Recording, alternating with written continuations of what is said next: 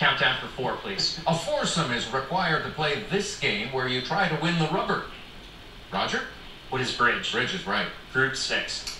If Andy yearns for Brenda and Brenda cares about Charlene, who pines for Andy, the three of them form one of these. Kara. What is it? Threesome? Mm, no. Roger? What is a love triangle? Yes, that's it. Obviously had much more experience than I.